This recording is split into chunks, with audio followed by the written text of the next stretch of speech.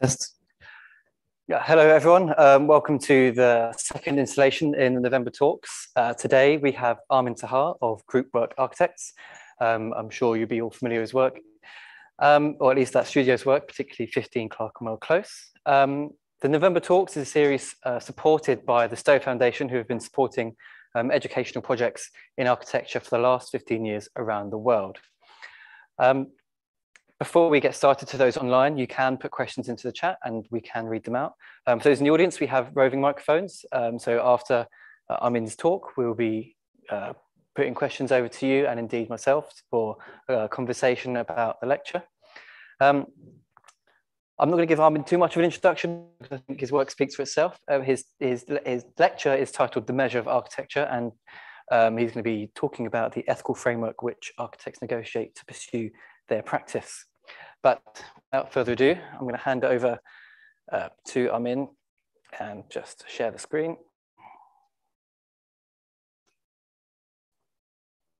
Apologies, two seconds.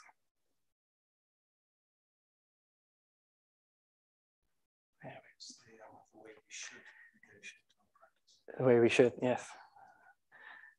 Oh, sorry, I've just lost the Zoom. No, it's got to be around More. There we go.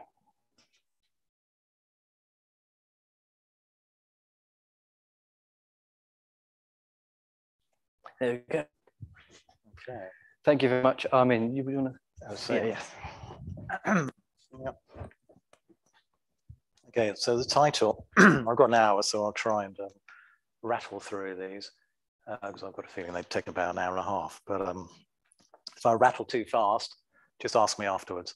So the title of the um, talk is, takes its name from um, Protagoras. So this is 4, 450 BC. Protagoras um, was uh, uh, what we call a natural scientist. Um, and he quickly found in his definition, his structuring of what he saw as science to his students, his students were taking this as um, law, immutable laws. Um, uh, and he changed, he swapped over from, from science to ethics and effectively law as a result of that. Uh, so this is something that's attributed to him. Uh, effectively means that um, uh, in here, uh, as it's attributed to him, there is no objective truth. Everybody perceives the world around them, and we have to negotiate those perceptions. Uh, why is it? Why, why does he draw ethics into that? So uh, if we have to uh, think of some practical examples from that period, he would argue that uh, we might share the sowing of seeds, we might um, uh, have to negotiate um, um, at what period we actually harvest those. Is it that week, the following week, a few weeks later? Uh, we might, that work and, and that product, we might have to negotiate afterwards. Some of that negotiation is reasonably straightforward. We subdivide the product by counting it. It's fairly easy to negotiate that. But there are other areas of perception that are hard to negotiate. And perhaps we oughtn't to negotiate at all. They have no ethical uh, uh, purpose. So, for instance, uh, walking out in the weather, you and a friend might walk out in the weather together and you quickly find that one of you is cold and the other one's warm. It is not your position to tell your friend to put on their coat or take off their coat. Uh, so the measure of, um, of, uh, of all things, uh, uh, in this case, the measure of architecture, how do we apply that to architecture? What's the, what's the connection with architecture? Um, uh, well, we could, we could argue that what areas are we to negotiate between us, whether we're architects or in the building industry? Um, like, well, to be very prosaic, we could start off, well, a building shouldn't really fall on top of your head. So we can make a rule that um, buildings ought to stand up. But for how long? Should they stand up for, for 100 years, 200 years? Well, we've agreed apparently that 70 years is about right before they have to be um, uh, investigated. Uh, similarly for um, uh, uh, weatherproofing, we want them to be possibly weatherproof if we're all sharing their use. Uh, the heat loss, uh, the heat gain, fire and all the rest of it these are areas that we're definitely negotiating between us. And in the same way that Protagoras would argue, at what point is it an ethical position for us to begin to argue that you should be following one dress code, as it were, for your building than another? He would argue not. Uh, so really, that's the introduction to to to um, to to sort of, if you like, an ethical framework. Um, um, that and, and why do I bother asking? Why do why is this a question? Because my suggestion is that actually, for for probably about 250 years, we've sort of got ourselves stuck into the idea that it is all about the surface image, that architecture is about the, the image. This is how we judge architecture, how we understand it, as opposed to um, um, uh, the other parts, how it stands up, what it's made of, the physical elements that are possible to negotiate. And why is that? Why do we struggle with that? Because fundamentally we don't get educated that way. Especially nowadays, it's even worse than it was when I first started studying. Uh, another class, classical reference, I'm, I'm, I'm, pulling in disparate classical references that we'll, we'll sort of conclude on uh, later on.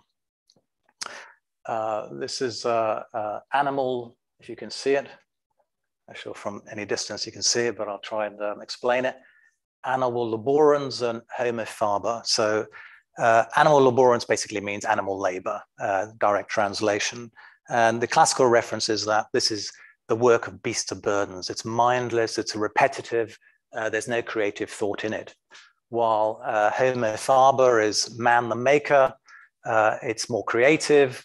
Uh, you, uh, it's a classic, direct classical reference. It's, it's Roman. It's uh, you know 100 years after Protagoras, um, and it's more about you, the man, the, the mankind, the tool maker, able to liberate themselves uh, determine your own determine your own future. Now, this is uh, uh, uh picked up again in the Renaissance period, and um, and also in the sort of mid 20th century. We have Hannah Arendt on the left, for whom the two are separate. So animal laborans and uh, possibly because it's sort of uh, in uh, post-industrial or rather industrial, it might be a bit Marxist orientated that uh, repeated labor has no creativity in it, while Homo faber is about uh, uh, self-determination and the creative, creativity that um, benefits us as um, a community. Her student is Richard Sennett on the right. And forgive me if um, you know this is this is the equivalent of, an, of um, a social social scientist putting one slide up uh, of Corbusier in a modern building and saying that's modernism. So I'm afraid I've sort of encapsulated this in one slide. Um, uh, uh, uh for, for, Richard Sennett, the two are actually overlapping. So Richard Sennett is a, a, a um, concert level trained um, cellist. And for him, the training of being a cellist is 10,000 hours. 10,000 hours of labor, re repetition. There's no creative creativity in it. And he applies that in the same way as um, all of us learn architecture or any other skill. There are years, if you like, of, of, of graft before it becomes a skill, before you improvise and before you innovate, before any creativity can occur. So the, the uh, animal laborans is the how, if you like, and the, the, the homo faber is the why. And for Richard Sennett, the two can overlap uh, that to distinguish the two, that um, um, hard labor or if you write repetitive labor is not connected to, to, to the why, is to diminish those who do, um, if you like, um, the repetitive work. Uh, and we'll come to that in a second. So hold those two ideas of Protagoras and the sort of classical idea of uh, uh, animal laborans and Homo faber. Our first uh, uh, uh, uh, proto-historian, art, art and architecture historian is Giorgio Vasari. Now, uh, he published the most excellent artists, architects and sculptors, um, mid-16th century. He put himself amongst them. He was an architect and an artist. Uh, but for him, and the critical point here is that for him, each of these were young apprentices and you have to remember, if you're um, if you're a member of the aristocracy, there's absolutely no way you needed to become an apprentice. Why would you go and put yourself into an apprenticeship where you have to do the hard labor, as it were, in cabinet, uh, in timber working, stone masonry, etc., before you got anywhere near potentially becoming a sculptor or an architect? If you weren't middle class and and uh, uh, your parents able to push you towards these apprenticeships and have that social capital to in, uh, put you in you didn't have a chance either. So there's a there's a group of people, apprentices who, who, who enter these fields that Vasari tracks from their youth uh, uh, through their training until they become most excellent. He identifies them each as individuals. So the, the, uh, he has a debate at the time with his contemporaries that uh, the, the difference between style and manner is manner is attributed to the individual. It is idiosyncratic to the individual skill, how that individual has been taught, how they've interpreted that teaching, uh, what else they bring to it, and then obviously the skill that develops is specific to them. It is not a, a taxonomy, as it were, an, an umbrella label that is style. And that lasts for about 200 years until Johann Winckelmann, who is an academic, he goes on the grand tour, and uh, unlike other people on the grand tour, he's actually, this is the Enlightenment period, he applies rationality to what he's looking at.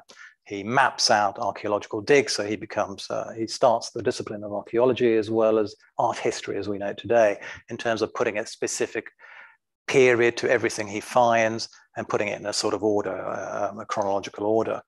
While Vasari is interested in the manner, the skill development, Winckelmann is interested in, in taxonomy and larger um, um, um, context of, of, of, of, of that. Uh, so the difference really is Vasari is interested in the verb uh, uh, uh and, uh, and, and Winckelmann the noun. And my uh, suggestion is that we've been stuck with it ever since. The product, as it were, comes before the process. So Vasari is talking about each individual has this process that produces this product that makes them excellent. And and simply saying, here is a product that is uh, uh, um, uh, common to a whole social group, a social history, and the process is completely, um, um, to some degree, ignored. And evidence of that is, of course, Winckelmann is, is digging up um, um, um, statues and, and surveying uh, uh, buildings they're bleached, bleached of their polychrome um, uh, originality. And in his um, in his second, because his first book is quite best uh, is a bestseller. In his second book, Opinions of, uh, which effectively starts neoclassical age, he he posits that white marble, white statues, white um, uh, uh, buildings are um, uh, emblematic of the of the because the, the, the, he's he's mostly in love with the Greek, he conflates the idea of Greek democracy with what he's seen, the whiteness of the marble, um, and uh, uh, essentially starts the neoclassical age that way. And everyone carries on believing that well into the Victorian period, where they're even, you know, some of you probably know, trying to scrub, scrub any color they find on the Elgin marbles uh, to counter this idea that there was a polychrome past successfully lasts until you, we know that um, Schinkel becomes quite exemplary of the neoclassical age. Schinkel is actually sent by the Prussian crown prince to England to investigate the, the building of, of um, British Museum. Prussian crown prince is looking to eventually build uh, museums on the Museum Insel, of which Schinkel completes one. While he's on his tour, because uh, after looking at the museum and, and its plans, he, he tours the rest of um, England, Scotland, and actually Wales. And he's absolutely fascinated. In fact, he, he writes he's quite dumbstruck that the England is industrializing quite rapidly, and there's just architecture being born, architecture being born out of utility, architecture that's formed from bricks, stone, uh, timber, the composite of, of all those, plus wrought iron and cast iron uh, a new architecture, as it were, of an industrial age. Uh, and on his return, he asks um, uh, uh Boetticher, and eventually Semper takes over. So Boetticher is on our right, uh, Karl Boetticher and Gottfried Semper on our left. Uh, what are the origins of, of the neoclassical architectures that we do, that we, that we um, you know, the motifs that we redraw, we rebuild, uh, what is its relevance to what we're doing today if England is managing to, to, to give birth to an architecture that's quite informal. Um, and Boetticher essentially, uh, and, um, and, and, and Semper, um, um, essentially, it's probably easier if I go to the next one. Choisy does the more um, uh, clean um, explanatory drawing. So this is Choisy in France, who's also investigating the same themes. Essentially, essentially what's happening is this constant crisis of what are we drawing? Why are we drawing this two-dimensional stuff? Where, where, where are its origins? And what relevance does it have to us today? Because ultimately they're not trained to, to, to be craftsmen as, as in Vasari's period. They're all trained to be drawers. They're drawing, drawing, drawing, and eventually asking themselves, what the hell are we drawing? Uh, and Choisy, uh, uh, Boetticher, and Semper top down discover that actually the architecture is born of the materials you make it with.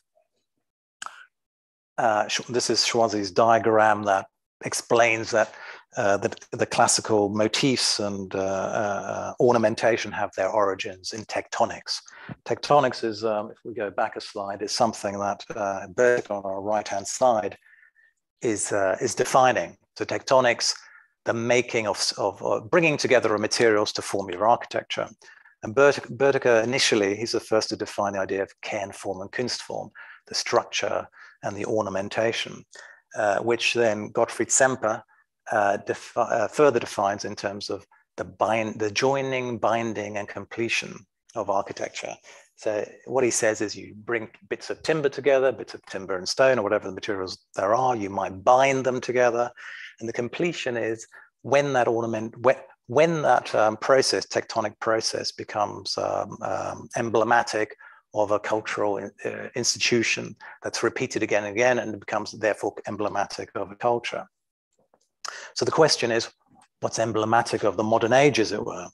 Uh, uh, um, not the neoclassical, Schinkel, as some of you probably know, uh, reverted to um, the neo-Gothic um, revival, as did so many others in the Victorian age, because they're all grasping what is emblematic of the modern age. I mean, fascinatingly, Gottfried Semper uh, was exiled in, um, in London during um, failed um, German uprisings with Marx. And Marx is in the British Library, writing away.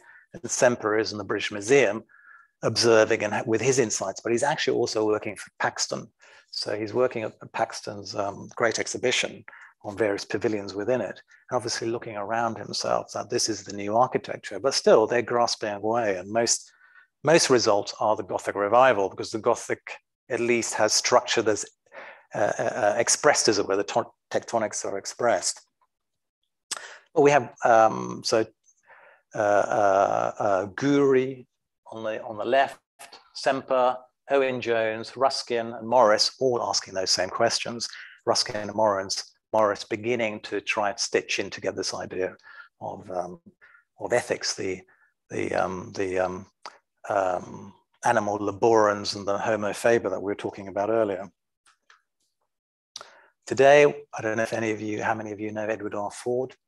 Uh, um, not expecting to call out, I do, but um, maybe we'll talk about it later. So Edward Ford is today doing the same thing as they are, um, um, running through what we're building, and defining those details. And in his opinion, out of these details, two of them are legitimate, the rest aren't. So if we start with the top left, um, uh, the pretense of no detail at all. If you were making a surfboard at a certain scale, this would work, but clearly a building of a certain scale where you're pretending it's as if it is a monocoque structure, uh, in his opinion, is, is, is illegitimate, it's, it's false uh, detail as motif where it has no origins in tectonic, but pretends to have, uh, is also legitimate.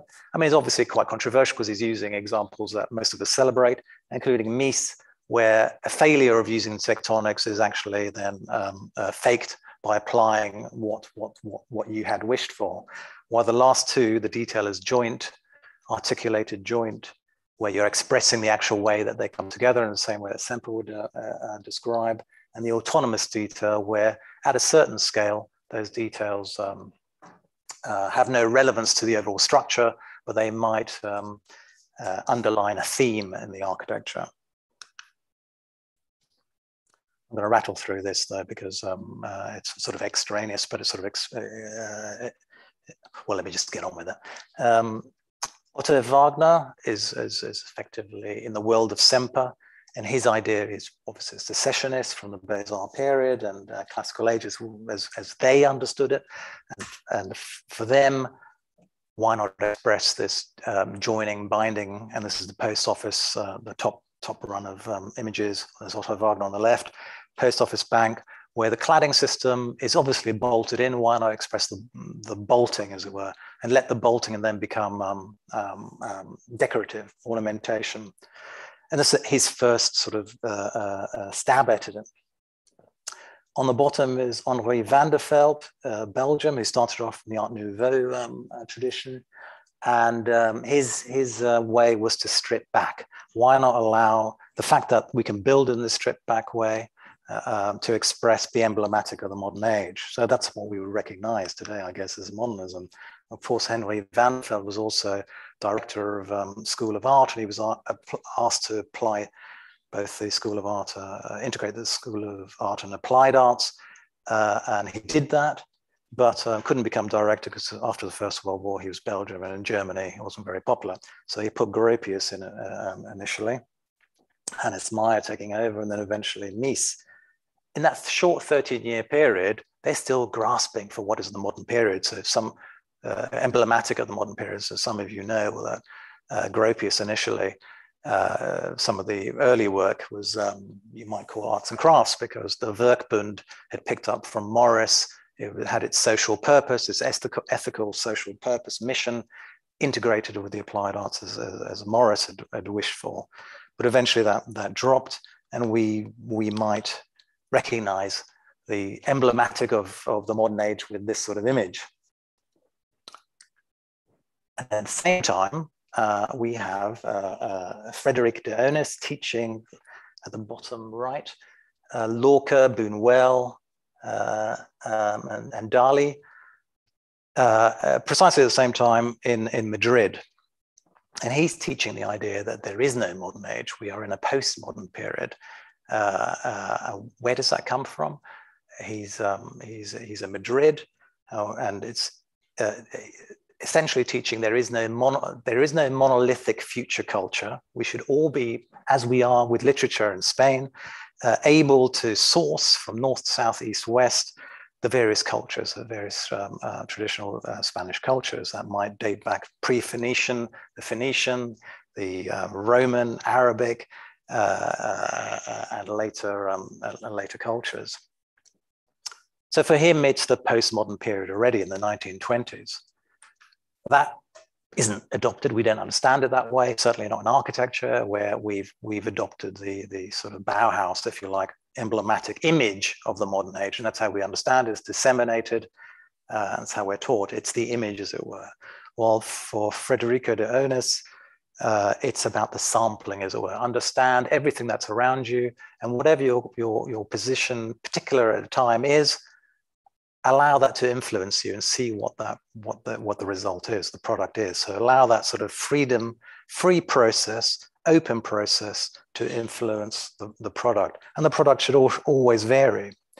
Eventually, on your left is Ihab Hassan, who's in Milwaukee, uh, another literature academic in the mid 70s holds a conference called the Postmodern Condition, for which uh, Lyotard um, joins and also speaks, is eventually hired by a Span uh, Spanish Canadian city to undertake um, uh, some studies on what are the consequences of the postmodern condition for for for for for for for, um, for the state as well as um, cities. And that slowly begins to enter the um, culture, I guess. Just about for architecture, people are already talking about it. Pevsner thinks um, postmodernism is most, mostly historicist uh, references, but um, uh, Charles Jencks is about to publish a book called New Radicalism, in which Gaudi and others, almost in the Vasari model, individual uh, architects are mastering their own skills, they are not following a taxonomy, a, an overall umbrella um, uh, definition. They're just masters of their own um, uh, realm, as it were, uh, uh, uh, processes and excellent products, in Vasari's words. However, just before publishing it, um, he um, changes the title. So from this uh, understanding of postmodernism, because it's been a buzzword for some time, but slowly developing understanding that it's about uh, uh, uh, a non-conformity, not picking up an orthodoxy, not following a product and reproducing that product, a derivation of that product, but actually the responsibility for you as an individual to develop your own skills, be open to all influences, whatever they are, and, and, uh, and, and then the product will follow. Instead, it is uh, we, we have a whole architecture section labeled as postmodern architecture. And of course, inevitably what happens is lots of architects fall into, into line and define themselves as postmodernist. And we understand this is how it was taught. I mean, I suspect for a lot of students today, it's not the same. Uh, it's not the same anymore. But certainly in my generation, and um, and uh, dare I say, um, up to quite recently, it has, and it's still sort of infecting how we treat architecture, uh, teach it as well as understand it, disseminate it, criticize it. And of course, the inevitability is um, one generation after another, we'll just be looking at the images. What, what's the next image? What's the next image? So concluding um, um, with, um, with uh, uh, uh, on that sort of arc, as it were, back to Richard Sennett. so Richard Sennett's argument is the, the how and the why should overlap. Uh, um, that is, um, uh, you develop your skills, your 10,000 of hours of animal laborans, as it were, developing your skill. Uh, but eventually, after that becomes second nature, you, uh, you um, improvise and you innovate. But that needs to be controlled. Um, to what end? To what end are you fantastically skillful and excellent? Um, um, well, his argument is that whether you're a surgeon, a software developer, an architect, craftsman in the sort of artisan sense uh, we, we, uh, we understand. Um, whatever your product is, eventually between us, we will negotiate whether, whether it has a common purpose for common well-being. He doesn't say to us how that will occur, but he says whatever it is, whether it's food or, um, or, or, or, any of those other um, uh, skills that I've suggested, between us, we need to negotiate that. And that's where I bring Protagoras back in, because his point is yes, some areas we do, do need to negotiate, uh, we should negotiate, and some areas we should well leave alone.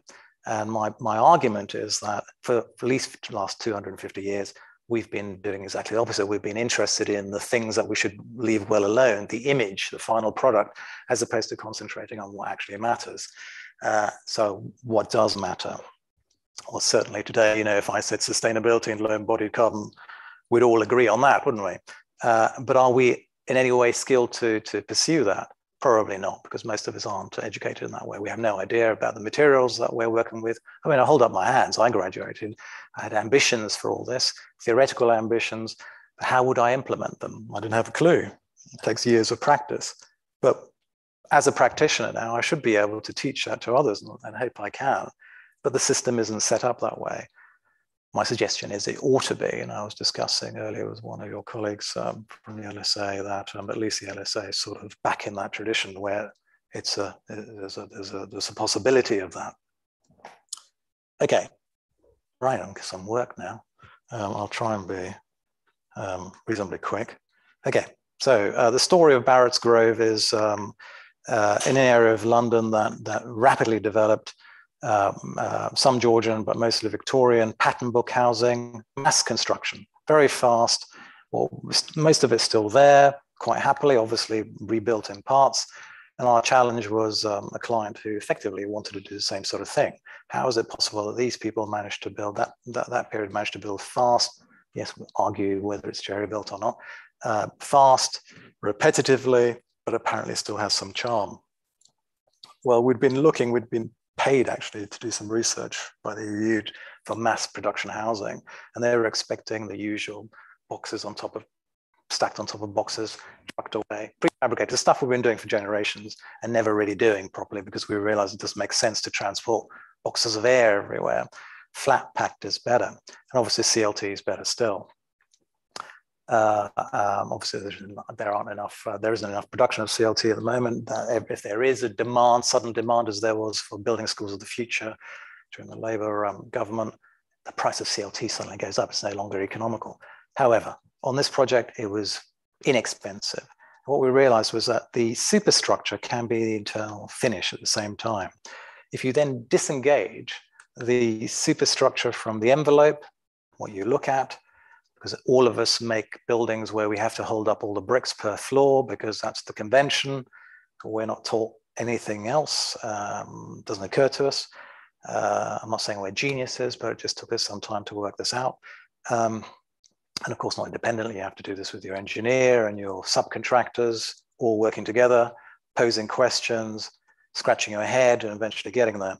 Uh, what you're looking at is um, uh, exposed uh, internal superstructure, but the superstructure is the floor plate, the walls, and the roof uh, exposed to the interior. Uh, it is not holding up any bricks. If it had to hold up any bricks, just like a steel or concrete frame, it would suddenly increase in size. So that's more material, um, more carbon, as it were, more cost to the client. Bricks are still made to hold themselves up, and this can be over six stories. This is of that sort of scale. It's a half brick wall. The only thing you have to stop it doing is falling into the street. And you can tie that back into the superstructure on flexible wall ties. What that means is that the brick and superstructure, which always wants to move separately, whether it's concrete or steel, is allowed to slip. I mean, you know, I exaggerate by doing this, but it, it's allowed to slip past one another. Um, means there's no expansion joints, there are no weep holes, and obviously none of these excessive amounts of um, uh, uh, anchors and uh, wall shelves and all the rest of it. So less material, less structure, quicker on, on site, etc no internal lining necessary, no plasterboard, etc., etc. So what we found with this is that it saved about 25% of the construction budget. I'm, I'm not going to labor or dwell on every project and every aspect of the project, but just pick up certain elements of it. Um, no, obviously, what we learned on this uh, was that uh, the diagram on the left is standard um, subdivision of, um, of, uh, of any development cost, uh, development outcome. And the red item, which says profit, is actually what the bank call their risk money. So should the developer uh, collapse, should the market collapse, it's unlikely to collapse by more than 25%, and therefore they're not left with a site that's got negative equity. All being well, the developer walks away with that as profit after having repaid the bank and all the rest of it. And that, that shows you the subdivision of land value. So if you're the landowner selling it to developer and all the rest of it, and, they, and, and the construction cost. Here we save 25% of the construction cost. So on the right, you can see what the impact of that is. If we slice off 25% of the construction cost, that adds, adds profit. Or it makes housing cheaper. But if it's the market, the open market, why would it make it cheaper? You know, if you're the estate agent talking to your client, he's not going to say, well, sell it for 10% cheaper. The client will take that 10%. And of course, that's exactly what they did. So after the, the estate agent initially said, you'll never be able to sell these um, Swedish sauna homes, um, you'll have to mark them down. He ended up selling them for more because there were enough people who apparently like Swedish sauna homes. So not only did he save money on the construction costs, he ended, ended up selling them for more. Now, uh, if everybody started working like that, what does that do? The model does not change on the open market. He'd still have 25% risk money, bank risk money, 25% profit. The developer doesn't make any more eventually construction costs has come down. All you've done is increase land value. So on the on the right, uh, hypothetically, if we keep innovating and making construction costs lower and lower unless, until it's next to zero, all you've done is increase land value because the market is the market. It's not totally depressing because obviously, if you're working for the public sector and you've got we, the, the public, as it were, own our own land, and we encourage our councillors not to sell it all off uh, uh, change policy to say, actually, we've innovated, we've reduced the construction cost. It means we can borrow less. That means uh, the rents can be less. That's the only way it's going to work. This is not a campaign against the, uh, the private sector. The private sector is what it is. It's got its spots. We're not asking it to change them. By contrast, uh, just as yeah, by contrast, this is um, uh, uh, an area north North of Kensington Gardens, red dot, Hyde Park, Kensington Gardens, and essentially an opportunity for an end of an urban block that, um, that uh, councillors, planning department had highlighted as an opportunity site. And our client had found, we'd worked with for a number of years to slowly accumulate the sites and look at um, ideas. Um, any architect, all of us, I suspect, would plan it exactly the same way. It's a very straightforward site, faces southward across the park, fantastic views, but obviously a uh, great deal of solar gain as a result. Very busy road, noisy road, busy road with buses going past, looking directly into any apartments, as well as um, tube stations and the park opposite, also looking into the apartments. So we've got issues with noise, pollution, uh, solar gain and privacy, which immediately in our plan, I mean, the plan is, uh, has got flats that face north to south, so the dual aspects, fantastic, bedrooms at the back and living rooms at the front. Very straightforward. All of us did exactly the same, same um, right, right number of, um, of cores, etc. What's it going to look like? We don't know yet. Plan all this out while we're um, uh, uh, planning all that out, all the pragmatic stuff. All of us do. The other thing we do is just a little bit of digging into the neighborhood, social history, find out if there's any reason that it can influence. Sometimes not, sometimes it does. What we found was this neighboring building, which was uh, built by those two architects on the bottom, Mewès Davis, who also built the Ritz Hotel, the RAC Club, and various buildings. They were the sort of Norman Foster, I guess, of their day, doing very well. And it was actually built for the um, um, uh, Prince of Wales, Queen Victoria's son, for his lover, uh, who is Lillie Langtry. And if you go in there now, it's all the down, upstairs. I think it's been completely um, stripped out, but downstairs is still pr pretty much intact. You'll see a sort of mini proscenium arch and royal box where they she performed and he watched. Um, still there. Uh, one of us had a thought experiment. You know, it's group work. I'm not a dictator. I'm not coming up with endless sketches demanding that they're um, they're done. It's just sort of everyone having various thought experiments and uh, debating them. And one of us had a thought experiment and just presented this. I have completed Mewès Davis's scheme um, on the end of the um, urban block, as it were, presented to presenting to the park. We thought it was very amusing. It's very interesting. Um, let's look at it in detail. Plonked it on all those context drawings that we'd done, and we thought, oh, it looks rather nice, doesn't it? Sort of wish that they had completed it. Um, but it's obviously a fake history, isn't it? It's completely false. You know, this is not real. If we were rebuilding it, we could understand it. Maybe there's a challenge to rebuilding what had been demolished or part demolished. It's entirely fake. It's flawed. It's uh, not a real narrative, um, etc. So all these words are coming out during the debate.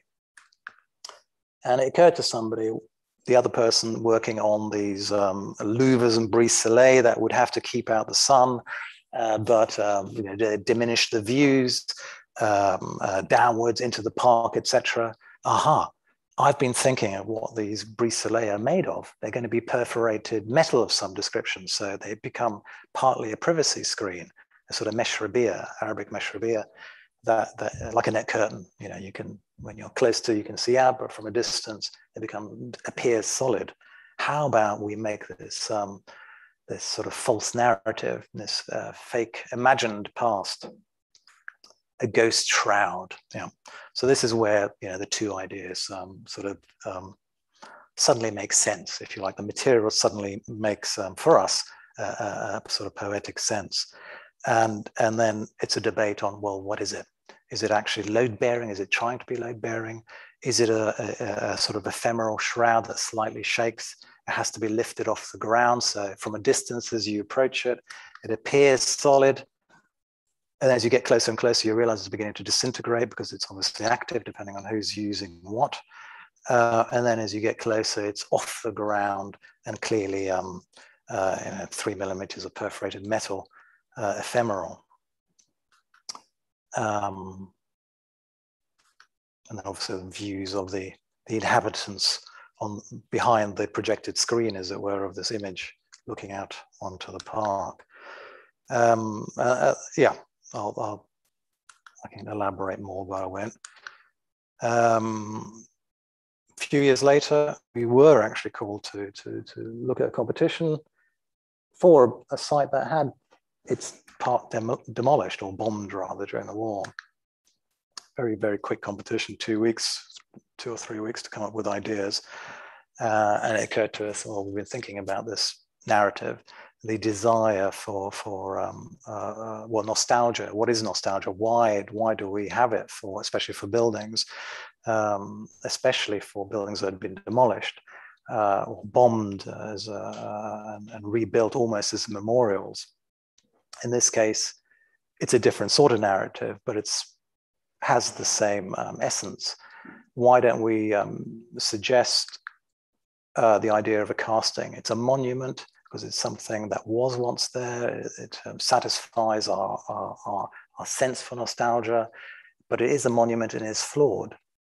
So um, I keep, I always repeat that um, um, my, my German is, is that of an eight-year-old, or seven, eight-year-old when I left. So um, uh, the German for monument is Denkmal. So my direct translation is, is, is somebody charging you to think. You think look upon me and think about it, as opposed to monument, which is sort of just seems just a, a noun.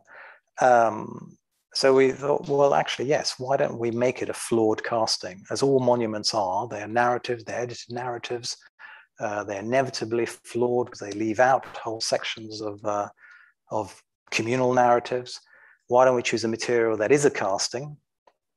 And then the internal inhabitation is something completely alien, foreign that bursts through.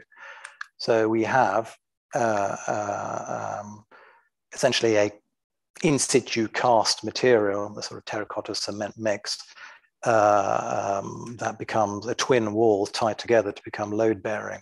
So that goes all the way up the building, across and back down again, within which then span the CLT um, structures, floor plates, staircases, and then everything else internal is also timber. Partly to balance out the fact that you're using quite a lot of cement with this, um, but also to differentiate what's the inhabited space as opposed to this memory, this flawed narrative. And the floor is deliberately, I mean, we've chosen this material because all of us know if you're working with Fairface concrete, it doesn't want to be perfect. Everybody wants it to be perfect, but it never is. You end up always trying to, to, to repair the grout loss and all the rest of it. In this, uh, in this case, we, we, we, we, begged our contractor, please do not repair anything. He didn't believe us because he thought we were going to condemn it. But so we'd have to be there, there regularly to make sure these floors are remain. And internally, using anaglypta wallpaper to cast against, so to you know, allude to the Victorian inhabitation pre previously. There's our interior.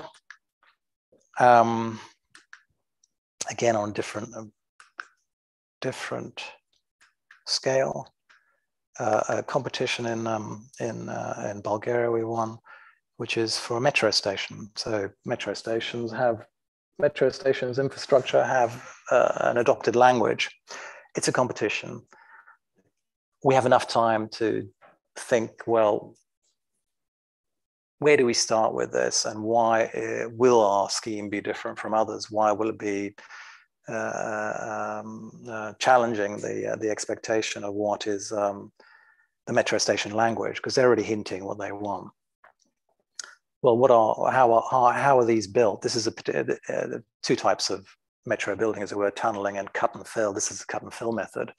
So 30% or thereabouts of the cut and fill method is temporary temporary work. So if you top left, those two piles that come down, you dig down. As you're digging down, you have to put large amount of steel as you're going down to stop the walls collapsing in. That's all temporary work. So it has to vanish at some point and go elsewhere if it's reused. It's expensive, not only just to buy, install, take away, reuse, uh, uh, uh but the material itself. Uh, so uh, with our engineer, uh, we occurred to us, well, supposing we just don't dig initially, we just dig a shallow um, hollow that is in the shape of the slab that is determined by the depth of the beams that are required, because ultimately this has to have a flat surface for a road to go across. Uh, so that second diagram shows you how that slab, so that earth is hollowed out, a slab is cast, and then the beams are cast into that slab. Then you drop your diggers, and that's effectively your temporary works as permanent works. That immediately tells you, well, actually, that could that could influence the language of the project. So it's not it's um, the process of the engineer, the civil engineer and structural engineer, helping us to understand how how um, these structures are made, and us sort of feeding back into that and realizing, well, actually, that could be the language of the architecture as well as the, lands, the landscape, the landscaping that, uh, that has to be part of it, of this metro bus interchange. So immediately the, the, the, the language is of, of um, journeys to the underworld, fissures in this landscaping to get us down there. and reflections of this sort of um, subterranean world.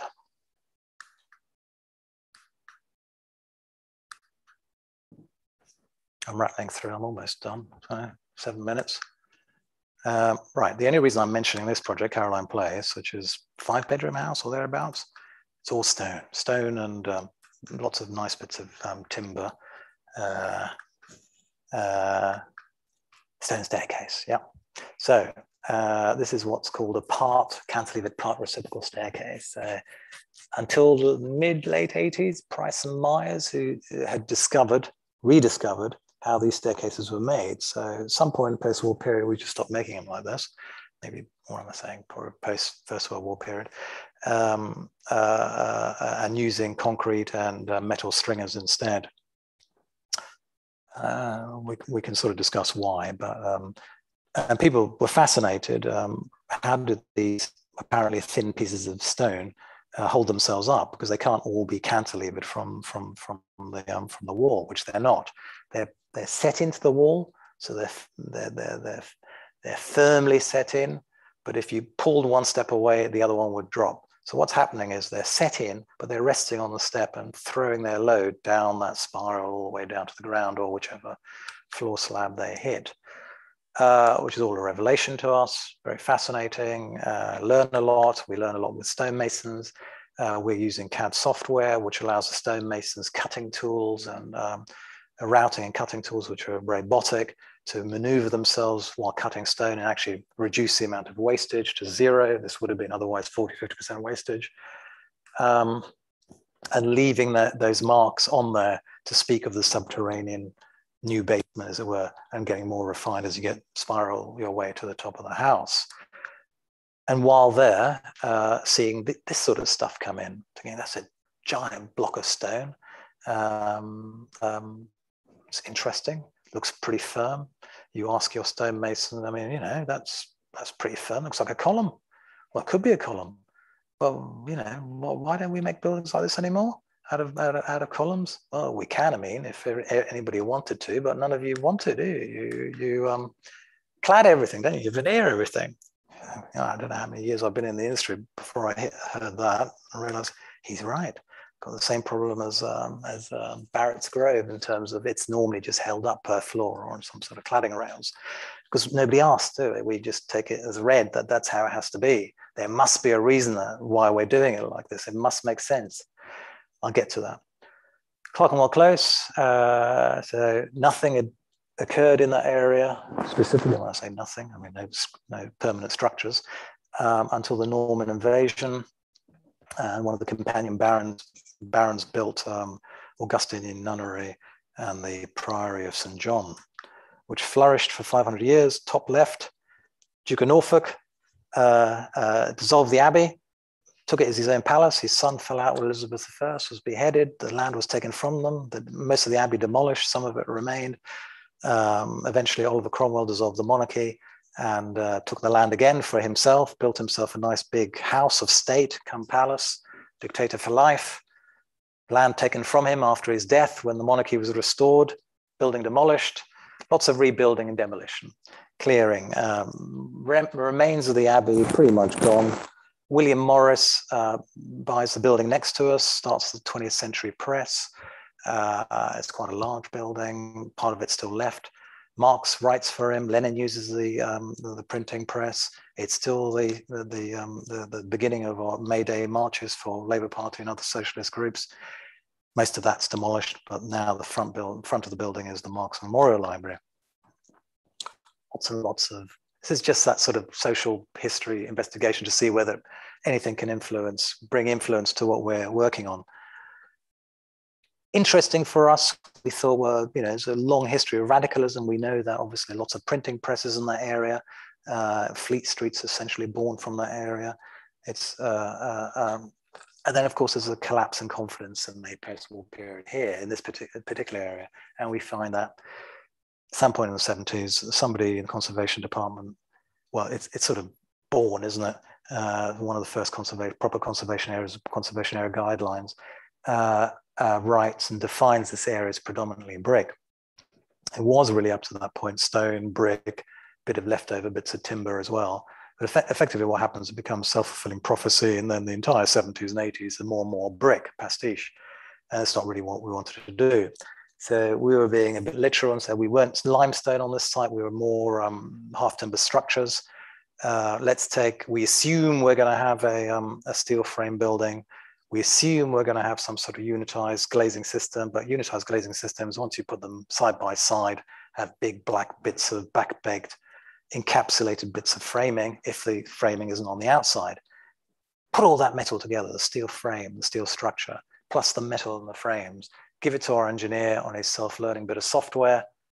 What does it suggest? If, we if we've got zero metal in the glass, double glazed units, it's an exoskeleton where you need some diagonal bracing that modulates the facade. All very well received um, uh, by planners who want to press for, for approval, but he falls out with a new conservation officer who's reading the conservation area guidelines quite literally. And strangely, he, he completely is blind to where it says predominant material, uh, brick, and decides that actually in his mind it's stone. So we never investigated stone hadn't, hadn't, if it hadn't been for this conservation officer waving his um, flag saying, um, please use stone, uh, or otherwise I'll be at war with, with the case officer. I thought, well, we've got no prejudice against the materials. Let's have a look, see whether we can do it. Obviously, this is how we understand it. it comes back to that whole um, uh, uh, Winckelmann, Semper, uh, Boetticher uh, question of what the hell are we building? Why does it matter? Does it have any ethical question? Why does it matter to any of us whether we build like this? Or if I just for brevity, um, say, well, supposing sustainability, you know, um, do all these materials added together, are there, is it greener than um, just having a lump stone? Well, it turns out, of course, it isn't. We were just intuitively thinking maybe 15, 20% saving. I'll tell you towards the end. So again, we went back to the masons and they said, yes, of course you can build in stone. I mean, give us the volume of stone, use the same software to generate columns and beams.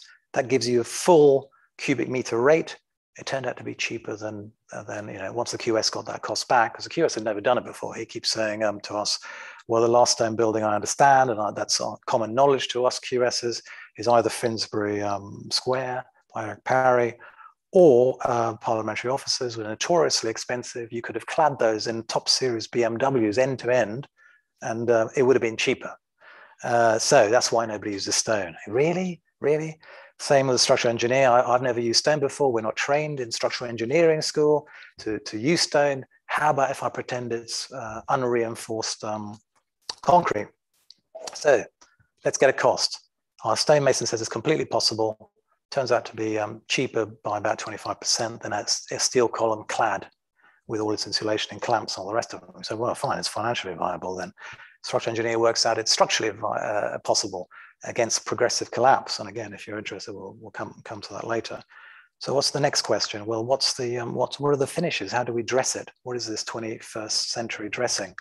We visit a quarry to have a look how the stone's extracted, what ultimate finishes are. And the minimal amount of finishes from these small scale quarries is saw cutting, sedimentary layer, and drilling with the occasional ammonite shell and quartz pocket uh, structural engineering, we work out that an exoskeleton, just like the metal exoskeleton, can just have a simple metal boss at the back of it clamped into the floor plate. Um, that's it going up, all on temporary props, and then the exoskeleton comes on and the props are taken away. Sorry. Internal, oops. Oh, I don't know what I'm doing. Am I getting backwards or forwards? Uh, does it matter? It's almost coming to the end. Um, that was just a plan. The idea was uh, that you can see there, it's an open plan with no um, internal columns because you know the columns are on the outside, uh, which basically means you can have all timber partitions, all timber structures, no plasterboard, no aluminium partitions, all the rest of it. Uh, and you can just clear those out so it's a loose fit. So in the future, if you wanted to change its use, smaller units, hotel, offices, you can without, without any major disruption. Blue-green roof at the top. Again, you can ask questions my God, how much did I put into this? Uh, Moorstone research. Yes, sorry, there. Right. What we discovered on, um, on Clerkenwell was quite a dramatic um, um, uh, uh, drop in embodied carbon in using a stone exoskeleton. So a direct comparison with um, a steel frame was quite dramatic. Um, our, our, sustainability engineer modeled it, then did his final assessment, and he said you've saved 90 odd percent on, um, on the embodied carbon. I have no idea how. Uh, next, he said, me back when you worked it out. And of course, it's because stone is just sitting there, isn't it? It's, it's, it has no embodied energy. The embodied energy is in cutting, transportation, erection on site. So we, we extrapolated this into um, for the for the stone exhibition. Yeah, God, let's go back. Um, stone stones stone exhibition. Uh, I was going to show you a stone tower. Oh, there you go. Right uh, uh, 30 stories tall. Um, there you go. Sorry, sorry for num bottom. Um, um, uh, yeah, sorry. Um, uh, for we extrapolated it for a 30 story tower instead of a six story tower. Um, and what we found was that um, that scenario one where everything is stone, stone exoskeleton, stone tension floor slabs, um, you can see if you run your finger along um, to the, um, this is the all steel option, steel frame um, uh, with, with its stone cladding. It's quite a fraction of the overall steel. If it was concrete frame with stone cladding, again, a fraction of that. The next scenario uh, occurred to us because it was a stone exhibition, it was meant to be all stone. And we said, well, actually, let's try and mix it with a bit of cross-laminated timber or mass timber exoskeleton, but all the floor plates and internal partitions are timber. It, because of timber's carbon sequestration, it ends up being negative. And if you look at that, it's more negative than the concrete is positive. Similarly, our, our cost engineers, you know, people think uh, money is a dirty word for architecture, but I would suggest that that is part of your ethical framework. Um, I mean, examples I use is if you're user, if you're doing any um, projects for affordable housing providers, um, charities, etc. One project we, we found out the overall construction cost was about 25% less than, than, than, conventional costs that they were expecting, their QS was expecting. And of course, um, if you're a commercial developer, that's great. But if you're a social housing provider, what that means is every four projects you suddenly get your fifth for free. So you have to phrase it like that so for them to immediately understand that um, it's, um, it's an advantage, isn't it? You've innovated and you've given them an advantage for their charitable purposes. So what we find here with our cost consultant is that, uh, where are we? Um, most expensive is concrete, steel is next down, um, all stone is next down from that, and the cheapest of all is, I mean, it's only 8, 10% cheaper, stone and timber, but still significant if you're we, we got the brief from Canary Wharf just to challenge them that um, uh, if you were building, you know, give us give us a um, ideal brief for yourselves in height and scale to demonstrate to them it's worthwhile. So Canary Wharf could be, or if you're a commercial developer, the first to build a carbon negative um, uh, tower. Obviously, after that, it's the, the operation of it that you have to control. This is something we are trying to do with a small scale building, smaller scale building and then that in, um, in, in Finchley. And I'm just finishing off here on bits of research of stone that we can, if you're interested, we can always come back to.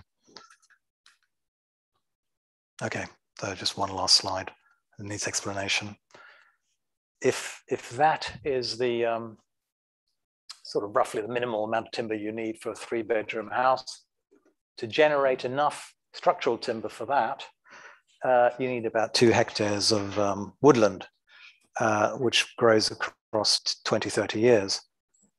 This is not a dichotomy, uh, a sort of, uh, uh, um, yeah, it's not an either or. It's not a false dichotomy between timber and stone. It's just to say, use your, choose your materials um, carefully, intelligently. Um, because the stone is already beneath our feet. We don't need to wait for it to grow. Obviously, it's not carbon sequestrating but it's a lot less land to, to grab, as it were, to put your housing up. And if you mix the two, you're still carbon negative. And then similarly for the large towers. And there we conclude.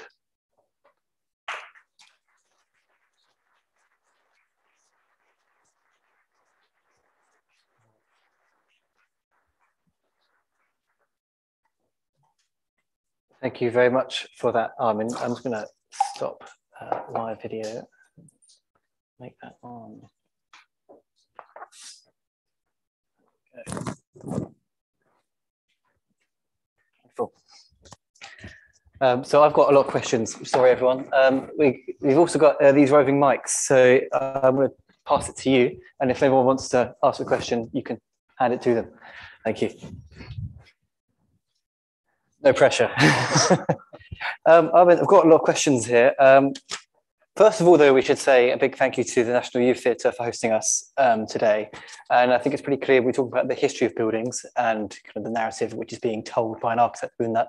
But we can pay attention to the room we're in because we can see the previous life of this building, this once Georgian building. Well, not exactly here, but in the in the foyer you when you walked in. Um, the renovation has been done by DSDHA architects, and we'll come back to that uh, maybe in a bit as well. But you fitting you ended on stone there because, um, and you mentioned that you learn a lot from stonemasons. Is how important kind of is that learning practice, the learning process to you and your practice? Is that something you say, right? You know, you know what, team, we need to we need to learn from how these people make and craft materials, mm, mm. and then that's going to hopefully inform our projects down the line. It is. Uh, I guess you should ask how did that first start and why. It wasn't. Mm. It wasn't so much um, us thinking, well, we need to become craftsmen or, or, or um, uh, have an affinity with craft. It's more fundamental in that um, all of us will recognize that when we design something and it goes out to um, design team, normal processes we design. I mean, dare I say, I'm, I'm sort of uh, uh shortening it but uh, often inside, uh, outside in. So we will design the plans and obviously the elevations and hand it over to design team, structural engineer with the quantity surveyor will say, well, uh, concrete's cheaper or steel is cheaper this year. Let's put a steel frame or concrete frame in. Sensible location for the columns of such and such. Mm. The process goes on and on, iterations eventually the quantity surveyor says, okay, I think it's all on budget, let's go out to tender. And I think all of us know that nothing ever comes back under tender, bang on tender. It's always 15%, 20%, 40% worse. Yeah. And then there's every, everyone's tearing their hair out doing what's called value engineering. And of course, the value engineering is never, or oh, can we take out 25% of the structural columns? Can we take out the, um, mm. the, the heating system or the water supply? It's apparent the architect has over designed and over detailed it. So you strip away the, the architecture, the, what the architect thinks is the architecture, the image, as it were. Uh, so for us, it was more fundamental to say, well, why don't we make the architecture irreducible? So, it, it, uh, as with any structural engineer or M&E engineer, you try and remove it and the building will fall down. It is one and the same thing. It's integral. Mm. The structure and, um, and architecture are one, as it were. How do you do that? Well, yes, you work with the, with the design team more fundamentally, but actually, why don't you go and t- chat to the people that make it? So, because most contractors, pretty much all main contractors, very few of them actually roll up their sleeves and are on site. We work with some who, who are like that. Almost all of them are very highly qualified managers. Mm. I'm not diminishing that in any way. Uh, uh, as such, they go off to subcontractors for almost everything. So, why don't you go off to subcontractors and hear from the horse's mouth. We, this is our idea. You tell us, how much is it going to cost? Well, it's going to cost this much. Oh dear, that's um, a bit over budget. Uh, so we already know it's over budget well before um, going out to tender. What have we done? Well, why are you using twice the amount of metal or whatever it is then you need to? Oh, really? How, how, how do we use half, half the amount? Well, yeah, they'll sketch it for you. Uh, mm-hmm. Does that still roughly your design intent? Well, it sort of is, but had we realized you could make it with less, is it possible to do it another way? Would it work like this? So there's a dialogue that, mm-hmm. that is established where maybe your eye, your uh, um, overall um, um, encompassing eye for, for the, the overall, as it were, and how it might shift. Also, the possibility that you just might bin the idea and start mm. again uh, uh, um, has that dialogue with the, the real makers and they're educating you. Uh, so it comes from that mm-hmm. as opposed to the initial point of uh, something more aesthetic. It's it's um, yeah, yeah yeah okay. But you, you, for that to be a success, you have to mm. have many many stakeholders on board with that mm. process. Yeah, and you know, when you go out to when you speak to contractors and indeed the client, mm. at what point do you introduce that your that way of building? Well, like all these things, you have to triangulate your argument. So Yeah. um, clients are inevitably, you know, they're paying for it. They're, um, Mm. uh, um, is this going to be cheaper? How much cheaper? Is it worth me taking the risk? What is the risk? Mm, Can uh, will this be insured? Is there a warranty? You have to meet all those. So you have to satisfy all those. And of course, if it's cheaper and faster, yeah. it has, satisfies all those warranties. The client is normally on board pretty quickly, as, as are the rest of the design team, especially if you know if you're doing housing, new housing, it's NHBC and BLP. It's not very difficult to get them into the office, or obviously today in some other form, to look across those ideas and details and say, yes, they are not the traditional robust details that you come out of a catalog, but it does exactly what we expect it to do. They might even, in past, they've actually influenced the design as well. So why don't you swap the waterproofing from this side to that side, and it's fine with us, Mhm. and we will adopt it and warranty it. At that point, everyone's on board. The only person who's not on board yet is the main contractor, so the manager, Yeah. because uh, they then have to adopt the risk under their overall yeah. warranty, but not even if the warranties are, are elsewhere. And that's all what we find is the last hurdle. Very, very frustrating the last hurdle. But it's got to be done, I'm afraid. Yeah, yeah. That that approach, and in the work you kind of allude, um, highlighted there, it celebrates kind of the messy nature of construction to an extent. Hmm. Like you mentioned, you know, you cut the, the concrete that you can't finish, and indeed Mm. the the stone on Clerkenwell Close, it comes that's straight out of the quarry, and some parts of it are unfinished. Yeah. Is the risk there is that you can't you can't decide how that looks, hmm. and Yeah. how are you kind of introducing people to that risk? Because unfortunately, Clerkenwell Close, I mean, you Hmm. you likened in a conversation with me a while ago that it was essentially someone complaining about knots in the wood, which you can't predict. Yeah, yeah, yeah, yeah. Uh, well, yes. Uh, where do you start with that? Uh, and I would start with the idea that uh, we've inadvertently walked into a planning system that is um, uh, misaligned with the architect's appointment. So the architect's appointment, you are paid up to stage three, Mhm. uh, as is now. Uh, um, you're paid to do that uh, up to, so Mm. you're producing drawings of a certain scale. Those drawings will never be the one to five details unless you, as an architect, decide, well, to hell with it, I'm going to do them anyway. yeah, Planners aren't really interested in them, but you might present them, and, and, and uh, good for you if you do. That might be one way of doing it. But really, you're being paid to produce drawings of one to 100. If it's a conservation area, maybe one to 20.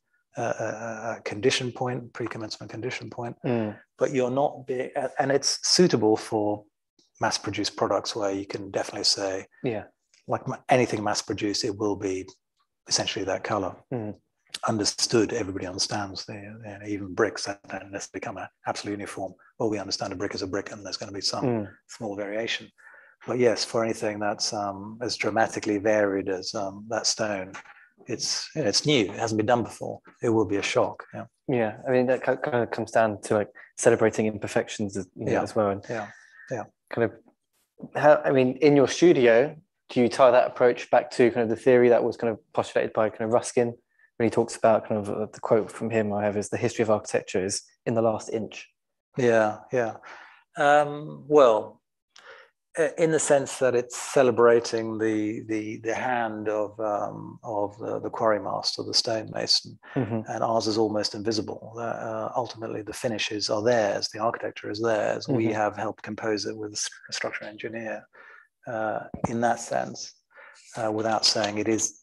Uh, because you could read it the other way and say to the inch, to the you know, to the millimeter is our um, Mm. The English sort of um, fetish with details that perhaps on the continent they don't have. Yeah, it's very true. I mean, how important to you? Why is it so important to you, rather, to be kind of tectonically honest in that regard? No, I, I that's a very good question because uh, uh, for a long time, morality in, in the materials, uh, honesty to materials, um, especially if we think of um, Watkin and morality in architecture, Mm. Uh, uh, the, the overlaying of that idea is that, well, there shouldn't be. These are inert materials. Why do they have any moral uh, uh, purpose or, Mhm. or, or understanding? They don't. Um, nevertheless, this is why I say there is a, um, Mm. an, an ethical framework that gives us what we then put values, and if, if you like to call them moral, but let's just call them ethical values, purpose. And what are they? Well, yes, it's it's uh, uh, it stands up, doesn't burst into flames, keeps the weather out, um, is cheaper, and therefore a social housing provider can build an extra one for every four, etc. These are all things that, um, mm. uh, as well as having low embodied carbon, these are all things that have, if you like, a morality to them, um, mm. a hmm. value to them. Well, there's also kind of the, the, the ethics behind the extractive nature of extractive na- nature of architecture in, in, terms of extracting material from the mm, land as well. Mm, exactly. Yeah. Um, I was going to ask, you know, is it if anyone in the audience now has a question, there's a chance to raise your hand. Come on, I know some of you might. Just bored you to tears. um, what else did I have here? Quite quite a lot. I'm going to try and whittle it down to, to quite a few of them. Um, oh yeah, you, you talked about that the, the pavilion at Lords. I was wondering. Oh, did I? That yeah. wasn't me. That was Edward R. Ford. yeah, well, Edward R. Ford. Yeah, well. Yeah. I was wondering if you can. Yeah, it's get... difficult that, isn't it? Because uh, yeah. all I'm presenting is Edward R. Ford's. Um, you know, there's a con- uh, there's yet another it's that perennial question that we all have, and Edward yeah. R. Ford's doing it again for for for our generation, as it were, while yeah. previous generations are also asking the same questions. Mm. We are looking at it. To, uh, the, we while we understand architecture as image, is that how we should be understanding it? And he's asking that same question. It should be tectonic, although he's not quite going as far as Semper and saying um, yeah. it's you know emblematic of, of a particular period, but he's asking fundamentally the same question. And we should all be asking that. And the reason we ask is because we're not trained. We're, we're trained top down image as opposed to pro- product, process to product, as it were. Yeah. We wouldn't be asking had we, if we were trained that way. It wouldn't, it would never occur to us. Yes, you're true. But it, maybe it would occur to us if one was an apprentice yeah maybe yeah, yeah. sorry yeah. yeah. yeah. i mean that's a whole kind of yeah. question on, on pedagogy which the lsa is trying to answer as much as anyone else precisely, else precisely yeah um, but going back going back to Semper, I mean, uh, he was obviously interested in the, the primitive hut and indeed Laugier's, Laugier's idea of the primitive hut, but Laugier didn't represent the primitive hut in any particular way. like mm. that. That drawing mm. was not um, on the cover of, of, the book. Mm. Was not true to an extent. Mm. Yeah. So I mean, I'm kind of want to unpack the connection between R. Ford, Semper, Primitive Hut, mm-hmm. and then indeed yeah, yeah. the process you have. Yeah. Uh, Sorry, it's, it's a no, big old no, meaty question. No, no. Well, I mean, uh, I. Mm, yeah, it's a difficult one because um, uh, I mean, what I'd say is all of us read and um, take read things in a particular way and take from those mm-hmm. almost what we want uh, to not necessarily um, rationalize what's in our mind, what's dimly there, and um, and crystallize it. Uh, but we dispense with potentially a lot of other things, mm. and I'm not. I have to confess, I'm not that interested in the the the, the, the um, uh, 18th um, century and 19th century searches for uh, for for the etymology of architecture mm-hmm. in the same way that they are and the same root and the same result. Uh, I, I uh, um, yeah, I, would like to think that yeah, yeah. we've done a lot since, and I we can actually we don't need to do that. But your, your architecture is telling a story of construction and, and it indeed is. of history. It is, yeah, yeah. Of yeah, construction. Absolutely, yeah. So yeah. in those areas, absolutely, yeah. Yeah. Um, I'm really cautious of time and we have quite a lot of kind of drink outside to kind of get through.